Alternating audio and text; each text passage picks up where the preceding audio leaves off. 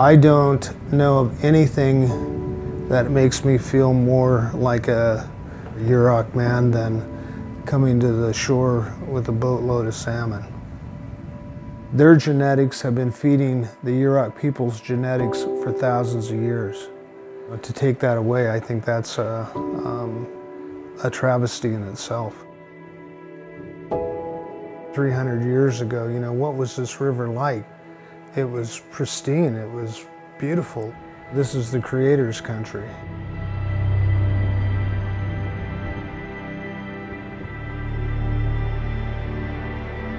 all the nutrients and all the great things that come from the upper basin were deposited down in the lower basin and out in the ocean. Fish came from the ocean and they brought with them these marine derived nutrients and all the great things that the ocean provides uh, to the land. And that was abruptly ended 100 years ago. When those dams were put in, it cut the river in half. The shock to the ecosystem was immense and we're still feeling it today. The reliance on salmon as a staple was substantial. They uh, pretty much extinguished the spring run in the Klamath, the one that was everybody depended on the most. I think dams, particularly in the West, there's sort of these vestiges of manifest destiny. Sort of this idea that you'll go west and conquer the wilderness, people somehow romanticize. But in a lot of cases, like on the Klamath, the dams really aren't worth keeping. Their harm is far greater than their benefits. Our spirituality, our way of life, and who we are depends on the health of the Klamath Basin. We know that the river can repair itself with the removal of the dam.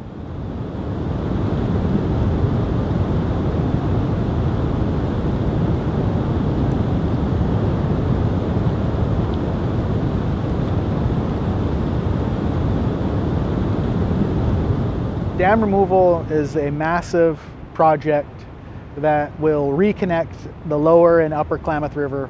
We need enough water for, for the aquatic resources, whether it's fish or insects, ecosystem services. And if water is constantly being diverted to agriculture or for other needs, we're gonna have a hard time restoring the river.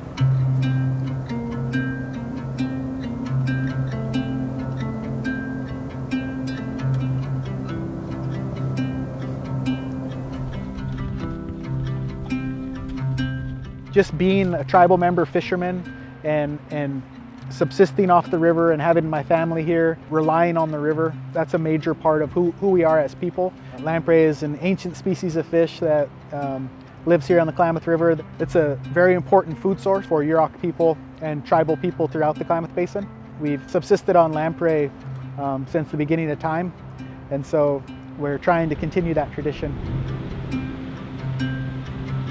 They are born in the river and they go out to the ocean and grow to adulthood and then come back to the river to spawn. But now over 50% of their spawning habitat has been taken away by these dams.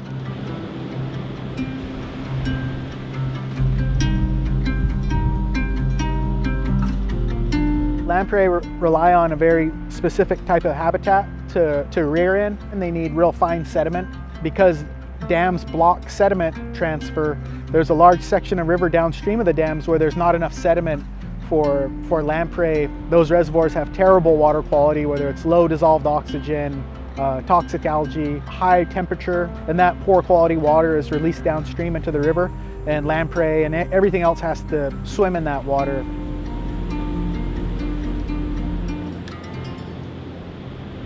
dams, diversions, our agricultural practices were all developed assuming the hydrology of the early 20th century would last forever. And that has not come to pass. We can't manage water in the 21st century like we did in the 20th because there's simply not as much water.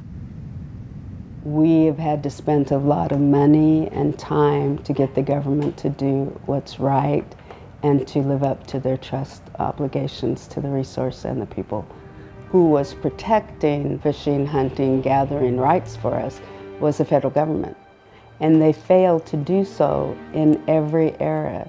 They failed to do it when the dams were placed. They failed to do it when they created the reservation and our lands were stolen. Each generation has had an impact by bad decisions being made and by the government not living up to um, its responsibilities um, to our people at every stage.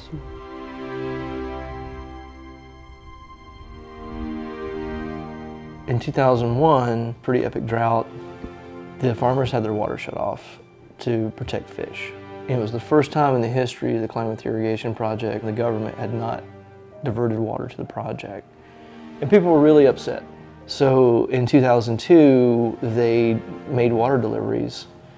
Uh, and against the warning of downriver tribes, uh, we had very low flows. It was really hot, water conditions soured. And when the fish returned in September, there was a massive fish kill, and as many as 70,000 adult salmon died on the Yurok Reservation in the week leading up to California Indian Day. I knew in my heart that uh, the temperatures were going to be high and with extremely low flows that we were going to have a fish kill. It was very horrific because there were thousands of fish that were coming down the river. Fish would they'd swim along and they would gulp for air. They'd swim a little bit further and they'd just flop over and you know be dead. If you can imagine 70,000 dead adult Chinook, you're talking about fish that are, you know, this big and this wide, lining the river, five to 10 deep. It was horrible. We actually took 500 pounds of um, salmon back to the Department of Interior and uh, laid it out on the steps to draw additional attention to what occurs with flawed water policies. It's a traumatic event, and there's sort of nothing in the oral histories of these tribes that describes something like this. But I think that galvanized tribes to build a coalition to do to make a change. Tribal leaders took all of that, kind of that despair that people felt after the fish kill, and kind of turned that into something positive, which was a 20-year campaign that's resu resulting in the biggest dam removal in the history of the world. As a colleague of mine used to say, eventually the Lord calls all the dams home.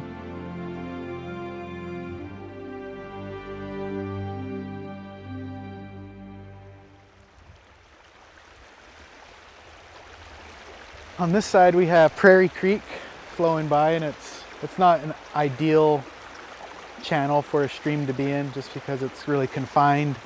Uh, there's not a lot of complexity. There's no point bars, there's no turns in the stream, there's nowhere for fish to spawn.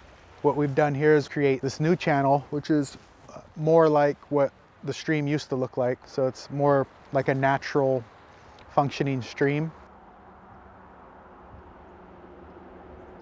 This is a really important project. It's, it's not on the Klamath River, but it's within our ancestral territories. The Yurok Tribal Constitution um, dictates that we restore and protect uh, the waters and the lands within our ancestral territories. This is a piece of a, a larger puzzle where we're trying to restore as much riverine habitat as we can By removing the Klamath River dams, we're going to open up 400 miles of additional spawning habitat. That'll have benefits for everything associated with the river, whether it's salmon or lamprey or bears or eagles or even killer whales out in the ocean. Everything will be impacted in a positive way. There's a lot of restoration work that's going to go on here for salmonid habitat and, and just trying to get the ecosystem back to where it should be. Wolves just showed back up on the Klamath Basin. Condor was just reintroduced in the Klamath Basin and we're pulling off the biggest salmon restoration project the world's ever seen. So we're starting to put the Klamath back together, and I think, if nothing else, I hope this inspires people everywhere else that you can do these things, you can win against long odds, and you can fix things. If it weren't for tribal people, our ceremonies, and traditional knowledge, those dams wouldn't be coming out.